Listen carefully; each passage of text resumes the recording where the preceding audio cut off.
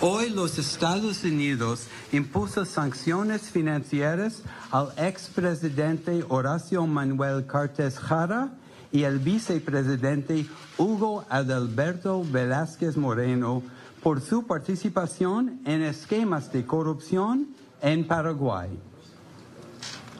Estados Unidos ha impuesto estas sanciones bajo el programa de sanciones Global Magnitsky que establece consecuencias tangibles contra actores corruptos y protege el sistema financiero de los Estados Unidos. Las acciones de hoy impiden que el señor Cartes y el señor Velázquez hagan negocios con empresas estadounidenses o acceden a bancos estadounidenses.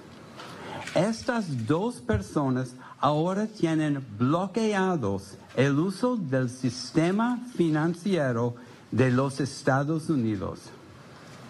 En otras palabras, los Estados Unidos han impuesto una prohibición completa contra transferencias u operaciones de cualquier tipo con respecto a sus intereses financieros.